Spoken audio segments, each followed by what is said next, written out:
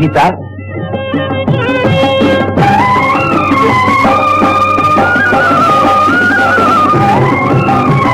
எனது திருமண வாழ்த்துக்கள்.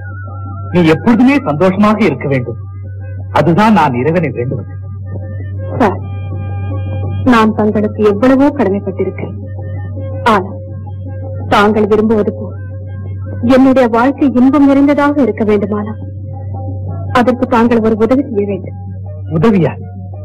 என் உதவியா? சொல்லு சீதா. உனக்காக நான் என்ன செய்ய வேண்டும்?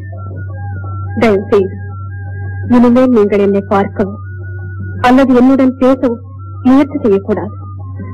அதற்கு என்ன காரணம் என்று என்னை கேட்கவும் கூடாது.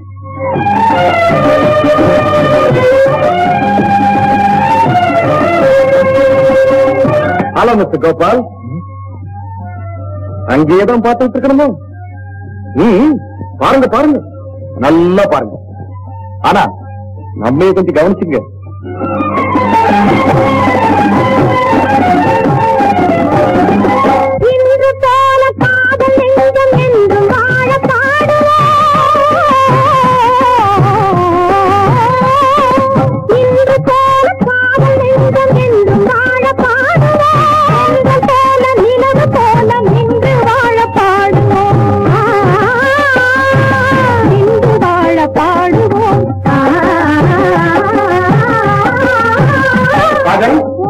நீ நல்லா இரு தம்பி.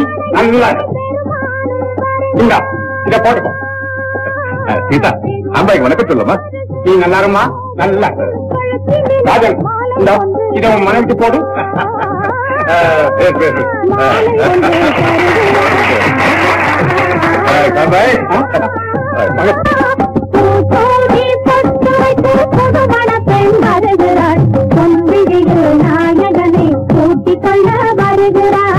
ಕಿರುಚಿತ